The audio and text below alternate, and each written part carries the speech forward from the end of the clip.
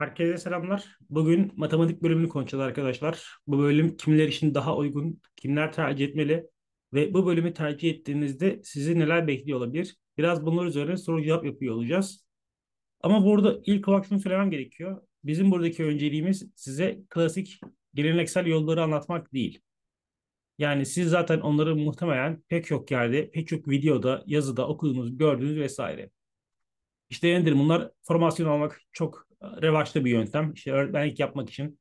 Bunun akabinde son yıllarda yazılım dünyasına geçen ciddi bir kitle var. Bunun akabinde bunun haricinde işte yine başka bu gibi matematikle ilgili işte büyük veriyle ilgili işler yapan insanlar da oluşuyor.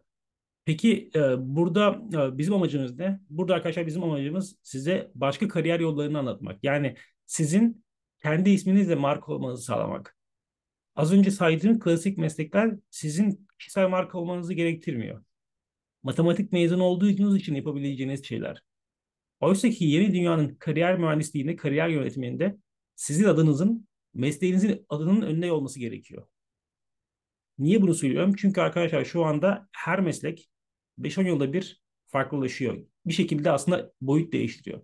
Her meslekten kastım da katma değerli her meslek. Yoksa tabii ki yine işte pek çok memurluk mesleği hayat boyu devam edebilir. Ya da işte bunun haricinde o tempoya dayalı yani stabil. Memurdan kastım hani ille de ünvan olarak öyle söylemiyorum. Yapılan iş biçimi anlamında, rutin anlamında gayet stabil iş yapan insanlar yine bir şekilde işlerini kaybetmeyebilirler. Ama onların elde edeceği katma değer giderek azalacak. Dolayısıyla bizim önceliğimiz her zaman için fark yaratabileceğimiz, büyümenin sınırının hızının olmadığı, sürekli daha çok gelir elde edebileceğimiz işler. Bunun için de bizim sürekli olarak arkadaşlar aktif ve sürekli öğrenmeyi önem gerekiyor. Bu OECD'nin geçenlerde yayınladığı bir raporda geçiyordu. Yani diyor ki işte önümüzdeki 10 yıl boyunca en çok ihtiyaç duyulan yetenek setleri. Liste bu. Ve birinci sırada aktif ve sürekli öğrenme var. Ne demek bu? Hayat boyu öğrenmek. Ben bugün matematikten mezun oldum. Artık benim için öğrenme bitti. Böyle bir şey yok. Hayat boyu sürekli bir şeyleri farklılaştıracaksın. Öğrenip, okuyup üzerine düşüneceksin. Ben acaba bunu nasıl farklılaştırabilirim? Bunu nasıl çok çeşitli hale getirebilirim? İşte bunu yapmak için de arkadaşlar bölümü sevmeniz gerekiyor. Bu şu demek değil. Yani ille de matematikle ilgili bir iş yapacaksın anlamına gelmiyor. Belki bambaşka işler de yapabilirsin. Kaldı ki şu an zaten dünyanın aşağı yukarı yarısı okuduğu bölümün haricinde işler yapıyor. Ama bunu da karar verirken bir dinamiğin olması lazım. Yani sadece puanın buraya yetti diye tercih yapmak belki gerçekten bölüm seviyor bile olsanız farkınızda olmadan bir zaman sonra işte ya keşke demeniz neden olacak? Ya da işte ya acaba şöyle yapmasa mıydım demenize yol açacak. Bunun için arkadaşlar mutlaka bir süre düşünmek gerekiyor. Ha şunu söyleyeyim. Eğer bu videoyu tercih döneminde izliyorsanız önünüzde maalesef kısa bir süre var. Yani aslında o 15-20 gün 3 hafta bunları düşünmek için yeterli bir süre değil. Ama öte yandan yine de birkaç hafta boyunca üzerine düşünerek kendinizi görebilirsiniz. Yani ben buraya ait miyim? Tekrar söylüyorum. Buradaki amaç matematikle ilgili iş yapmak değil. Yani dünyada yüz binlerce iş var. İlla ki bir iş bulursunuz zaten. Hani bunda bir sıkıntı yok. Ama o bölümün size uygun olması alacağınız bir sonraki kararı da besleyecek ve etkileyecek. Yani içinize sinerek gerçekten sizin ait olduğunuzu düşündüğünüz bir bölümde okursanız yarın bir gün başka bir alana geçerken bile en azından o doğrular üzerine bir yapı kurmanızı sağlar. Tabii şunu diyebilirsiniz. Hani benim puanım buraya yetiyor ve burayı tercih edeceğim. Evet ama yani hani nereye kadar ki? Şunu demek istiyorum. Yani bugün puanın yettiği için burayı tercih ettin. Yarın iş bulamadığın için o işi tercih ettin. Ya da işte yarın başka bir şey olduğu için bunu yaptın. Bunun sonu gelmez. Kuralları uymak yerine biraz kutunun dışında olmak lazım. Ha gerekirse mezuna kal mesela. Onu da söyleyeyim. Tamam bu üniversite bölümün tanıtımında biraz e, şey oldu. Hani tezat oldu ama bizim buradaki maksadımız senin aslında e, yolunu bulmanı sağlamak olduğu için ya da bu yolda sana bir arkadaş olmak olduğu için çok boyutlu düşünmek zorundayız. Eğer diyorsan ki yok benim ait olduğum yer burası değil ve bunu gerçekten hissediyorsan bence emin ol bir sene daha mezuna kalmak senin için dünyanın en zor şey olmayacak. Mental anlamda çok yaşamayacaksın. Çünkü mezuna kalıp mental sıkıntı yaşayan insanların temel kaynağı, temel sebebi aslında nereye ait olduklarını, hangi bölüme ait olduklarını çok da fazla hissedemiyor olmaları. Çünkü öyle ya hani bir şeye karar verdiysen ve o yolda ilerliyorsan oradaki zorluklar senin için o kadar büyük bir zorluk olarak gelmez bir noktadan sonra. Burada da aynı mevzu.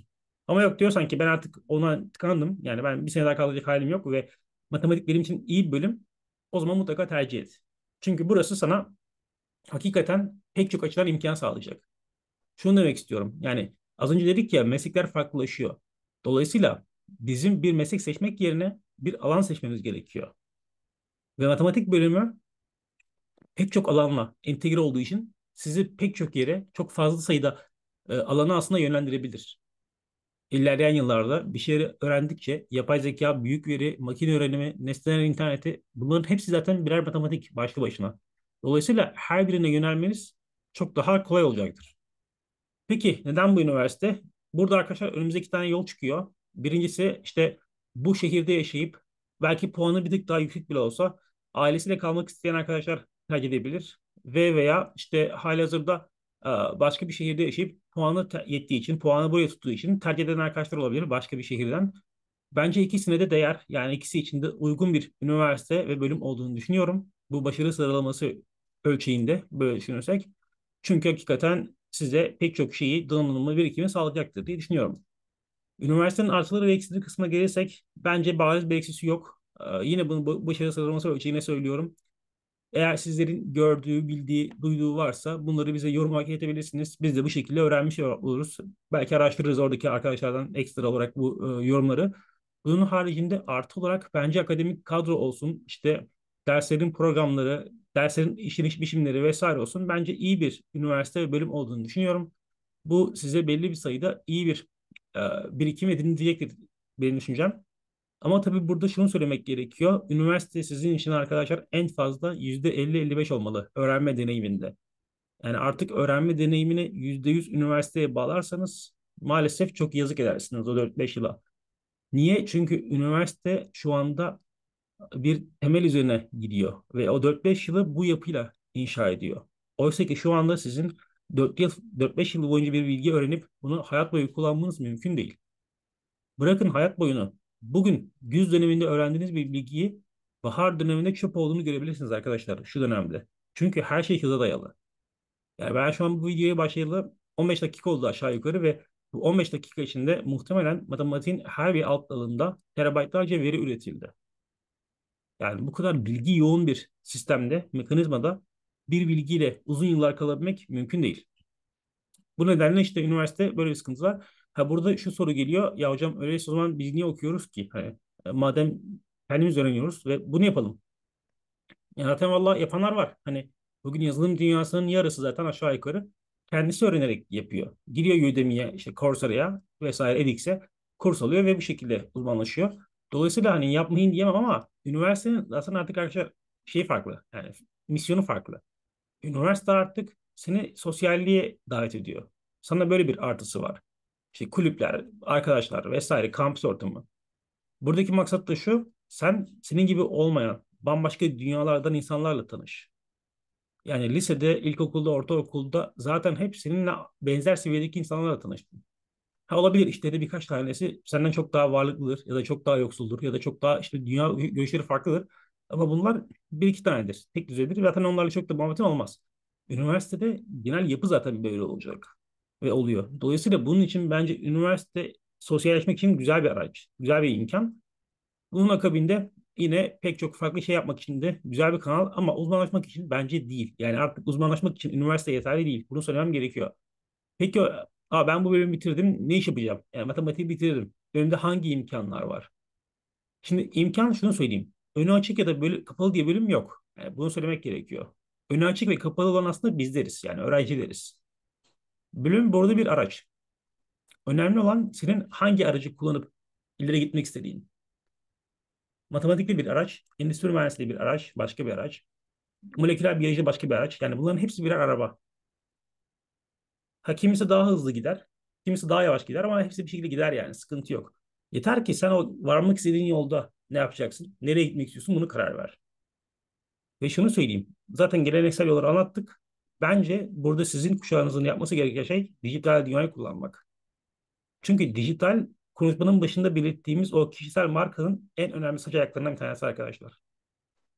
Yani bugün dijitali kullanarak kendi kişisel markanızı inşa edebiliyorsunuz. Ve kişisel markanın haricinde dünyanın dört bir yanına ulaşma şansınız var.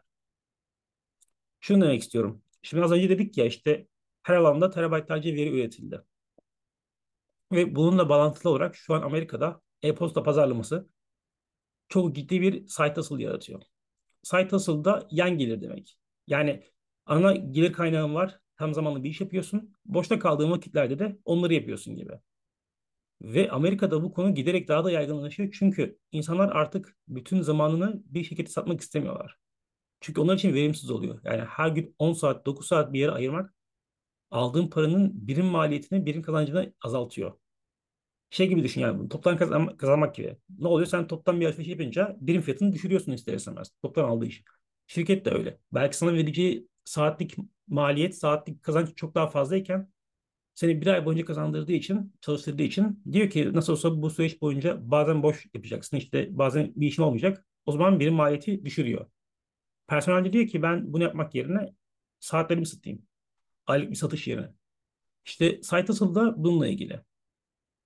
Ve sizler bugün bu YouTube'u kullanarak site hustle üretebiliyorsunuz. Nasıl bir şeyden bahsediyorum? E-posta pazarlaması. Buna geri dönelim. Arkadaşlar şu anda mesela ne dedik? İşte her gün terabaytlarca veri üretiliyor. Ve kimsenin açıkçası bunları oturup araştıracak hali yok. Ama siz yapabilirsiniz çünkü vaktiniz var. Ne yaparsınız? Her gün işte ya da haftanın iki günü, üç günü bunları derleyip toparlarsınız bu bilgileri. Ve işte her birinde 5-6 maddelik bu haftanın gelişmeleri diye rapor yayınlarsınız. Bu rapor ya da bülten her neyse artık ilk üç maddesi slide'da yer alır. Böyle bir YouTube videosunda benim yaptığım gibi. Burada insanlara anlatırsınız. Yani işte bu hafta matematik dünyasında şu oldu. İşte veri biliminde şu oldu gibi. Üç maddeyi açıklarsınız. Sonra dersiniz ki isteyen arkadaşlar işte hepsine demek isteyenler şu linkten satın alabilirler gibi. Ve buradaki güzel taraf İngilizce altyazı ile birlikte, İspanyolca, Portekizce altyazı ile birlikte bütün dünyaya bu yazıyı ulaştırabiliyorsunuz. Bu videoyu ulaştırabiliyorsunuz. Bunu söylediğimde karşıma iki tane argüman çıkıyor genellikle. Hocam işte Hindistan'daki birisi benim videomu niye izlesin? Yani Türkçe konuşuyorum. Sadece İngilizce altyazı var diye niye izlesin? Ya da işte Kore'deki birisi niye izlesin? Niye para versin? İkincisi de hocam benim İngilizcem iyi değil. Şimdi arkadaşlar İngilizcenizin iyi olması ilk başta o kadar önemli değil. Yani önemli ama hani halledilebilir. Nasıl yaparsın? İşte o konuşmayı hazırlarsın ve yazarsın bunu translate'e. Sana verdiği çeviri, çeviriyi kopyala yapıştırla atarsın. E yanlışları olur mu? İlla ki olur. Ama dert değil. İlk başta bizim niyetimiz sadece o insanlara temel bir tabloyu aksedebilmek. Ha zaten sonraki aşamada baktığın bir şeyler ilerliyor, güzel oluyor. Ondan sonra ne yaparsın? İşte dil kursuna gidersin. Ki bu arada dil kursuna normalde gitmen lazım da hani ayrı konu. Baktığın işler ilerliyor. Kendi bir yatırım yaparsın. İşte belki bir ajansla anlaşırsın o süreçte. Düzenlemeler vesaire için. İşte birkaç uygulama var böyle imla kurallarını düzelten. Onları alabilirsin. Yani bu şekilde ilerlersin yol boyunca. Karşıdan bir aksiyon aldıkça. Ee, diğer kısım global ekonomi. Arkadaşlar şöyle bir şey var. Zaten dünyanın amacı bu. Yani dünya artık istiyor ki sen buradan yaptığın bir şeyle bütün dünyaya hitap edebil. Sistem zaten bunu istiyor bizden. Dolayısıyla bizim aslında zaten yapmamız gereken şey dünyaya hitap edebilmek. Ve yapılıyor da. Çünkü şu anda bilginin kendisinden daha önemli olan o bilgiyi pazarlayabilmek. O bilgiyi sınıflandırabilmek aynı zamanda. Dolayısıyla siz elinizdeki bilgiyi iyi bir şekilde sınıflandırıp onu güzel bir şekilde süslerseniz insanlara, güzel bir slaytla, güzel bir anlatımla, vurguyla, tonlamayla emin olun Madagaskar'daki de izler, Sri Lanka'daki de izler. Çünkü insanları artık YouTube'la birlikte izleme alışkanlıkları en azından benzer seviyeye geldi. Ha, İngilizce olması tabii ki daha güzel. Ali Ülala. Ama olmasa da sorun değil. Çünkü öncelikle bizim niyetimiz yola çıkmak. Sen yola çık o yolda bir şey öğrenirsin zaten. Ama hani ya benim kameram kötü, işte mikrofonum çok iyi değil. Bir para biriktireyim de bunu alayım, şu olsun, böyle olsun. Gelmez o işin sonu. O işin sonu gelmez. Çünkü bu dünyada yaparak öğreniyoruz. Öyle öğreneceksin ya hani yapacaksın. Şimdi birinci videoda ses kısık gelmiş, düzelt. İkinci videoda sunum güzel gözükmüyor, düzelt. Aşama aşama. Bugün mesela YouTuber'ların ben çok iyi izliyorum öyle videolarını, başarı hikayelerini. E, tabii başarı hikayesi hani size göre belki başarı hikayesi değildir ama benim için öyle. Çünkü bakıyorsun insanlar hakikaten 1 milyon takipçi yapmış, abone yapmış. Yani diyorsun bunu nasıl yapmış olabilir? Bakıyorsun ilk videolarına örneğin çok saçma. Yani kendisi de bunu söylüyor bu arada çoğu YouTuber. Diyor ki benim işte 2015'teki videom diyor çok saçmaymış diyor. Salakçaymış kimse. Niye yapmışsın bunu diyor. Abi oysa ki seni buraya getiren şey o zaten. Yani sen 2020'deki, 2022'de, 2023'teki prodüksiyon kazancına ulaşmak için 2015'te onu yapmak zorundaydın. Sizin için de böyle.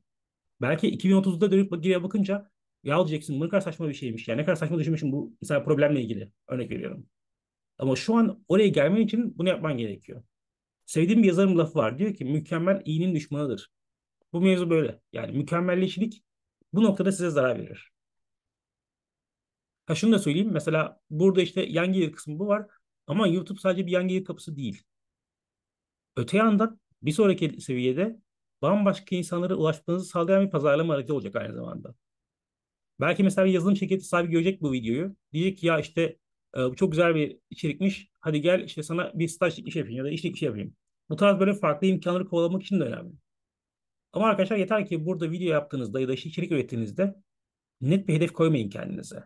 Yani şuraya ulaşacağım işte bir ay sonunda bin abone ya da işte bir sene sonunda aylık beş bin lira kazanç. Ne yapmayın abi? Çünkü bunu yaptığında belki önündeki diğer fırsatları kaçıracaksın.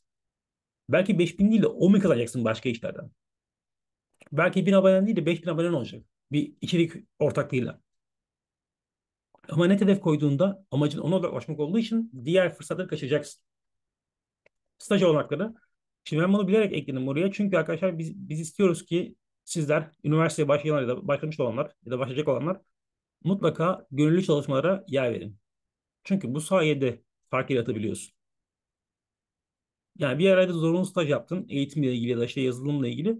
Bu senin diğer mezunlarla, diğer Türkiye'deki matematik mühendis, matematik normal mezunlarıyla bir arada olmanı sağlar. Aynı seviyede olmanı sağlar. Ama biz istiyoruz ki sen Amerika'daki matematik mezunuyla aynı seviyede ol. İşte Kanada'daki matematik mezunuyla aynı seviyede ol. Global bir kariyer inşa et. İşte bunun da yolu ilk başlarda, üniversite başlarında özellikle bambaşka şeyleri görmekten geçiyor. Mesela şu anda holdingler, kurumsal dünya müthiş bir şekilde sivil topluma kaynak ayırıyor. Niye? Çünkü dünyadaki iyilik hareketi durumundan dolayı, böyle bir trendten dolayı. Mesela orayı bir incele. Acaba hangi STK'lar daha fazla destek alıyor? O sosyal girişimciler ne yapıyor mesela şirketlerle iletişim için? Onlarla nasıl bir diyalog sağlıyor? Hangi alanlar daha revaçta? Bunları görmen lazım. İşlerine girerek. Ha belki o alanda bir şey yapmayacaksın. Ama önemli değil. Yani o bilgiyi edinmek kıymetli. Bunun haricinde mesela influencer marketing. Az önce ne dedik? İşte YouTube videoları. YouTuber'lar 6 sene önce çok saçma video çekiyordu belki. Bugün iyi noktaya geldi. Bunları görmek için o insanlarla konuşmak gerekiyor. Diyalog kurmak gerekiyor. Ha kendin de öğrenirsin sorun değil. Hata yapa yapa kendin de görürsün ama kendi hatalarından ders çıkarmak bir erdemdir. iyi bir şeydir. Ama başkasının hatalarından öğrenmek olağanüstü bir şeydir. Başarının sırrı o zaten işte. Çünkü hata yapma süreni kısaltıyorsun. Minimum efor, minimum hata ve maksimum başarıya ulaşıyorsun. Son sorumuz peki hocam yani bölüm mezunları işim yani ben matematik bölümü bitirdim ne kazanacağım? Şimdi bu tamamen size bağlı. Devlet memurluğu vesaire kenara tutuyorum. Zaten onların maaş skalası belli. Her sene devlet tarafından verilen belli bir maaş düzeni var. Özel sektör için konuşacak olursak bu eğer iki ayrı kendi içinde gerçekten kendisini geliştirmiş önce, önceki maddede saydığım şeyleri yapan arkadaşlar için zaten muhtemelen son seneye doğru birçok yerden iş teklifi alacaklardır. İlk üç seneyi böyle geçirirlerse. Ve bu da muhtemelen asgari ücret seviyesinde olacaktır. Yani son sene asgari ücret kazanıp bir yandan öte yandan da e, başka işler yapabilirsiniz. Yani asgari ücret kazanıp bir yandan okuyabilirsiniz gibi. Bu da mezun olduktan sonra asgari ücretin bir buçukla iki katı arası bir maaşa tekabül edecektir. Fena bir imkan değil bence. Bunu yapmayan arkadaşlar için ki genelde maalesef böyle olur. Yani derseniz ki abi bu herkes için geçerli mi yani işte asgari ücret artı çalışma falan maalesef değil. Genellikle kariyer mühendisliği, kariyer yönetimi bizde çok ön planda olmadığı için biraz daha mezun olduktan sonra bırakıldığı için ne yazık ki arkadaşlar mezun olduktan sonra asgari ücret tarzı bir maaşla işe başlıyorlar ve bu da e, sonrasında düzelebiliyor ya da işte duruma göre değişebiliyor. Şimdi burada maaş daha az oluyor kendini geliştirmediğinde ama daha büyük bir sorun bence kendini tanıyamamak. Yani 23, 24, 25'ten sonra kendini tanımaya çalışmak arkadaşlar bence çok yıpratıcı mental anlamda. Çok zorlayıcı. Bunun için bu işi 18, 19, 20'lerde daha çok ciddi bir sorumluluğunuz yokken inşallah yoktur yani en ciddi sorumluluğunuz. Ee, bu sorumluluklar yokken zihin daha açıkken, daha berrakken düşünmek size çok daha fazla imkan sağlayacaktır diye düşünüyorum. Benim alacaklarım genel olarak bu şekilde. Bunların haricinde eksik kaldığımız, unuttuğumuz, atladığımız kısımlar varsa yorum olarak yazabilirsiniz. O şekilde yanıt vermek isteriz sizlere. Bunun haricinde eğer bu videodan beslendiğinizi düşünüyorsanız bu video size bir şeyler kattıysa videoyu beğenip kanalımıza abone olarak bize destek olabilirsiniz. Önümüzdeki videolarda görüşmek üzere arkadaşlar. Şimdilik hoşçakalın.